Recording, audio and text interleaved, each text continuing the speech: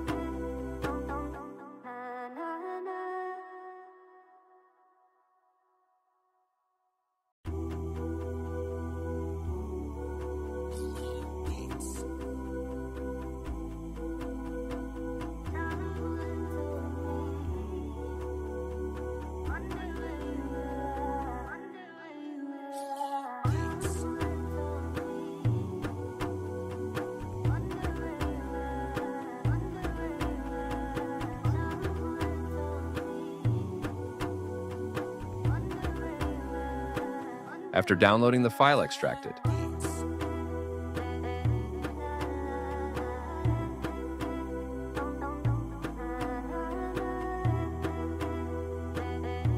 After finishing of extracting files, you get two folders open, Renders and install the plugin.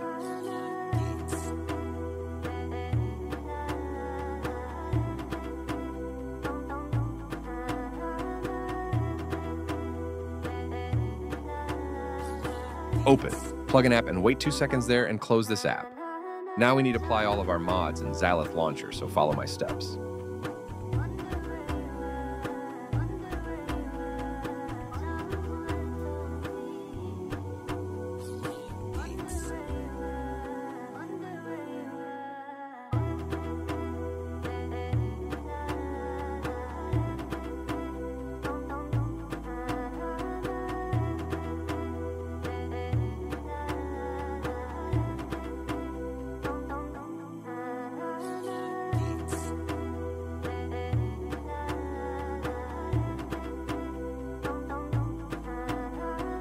Now, open Zalith Launcher. Go to Video Settings and in Renderers, this LTW renderer will show up. Select this renderer as default renderer. That's all. You can play with your Sodium mod in high FPS. I hope it helps you. Thanks for watching. See you in next video.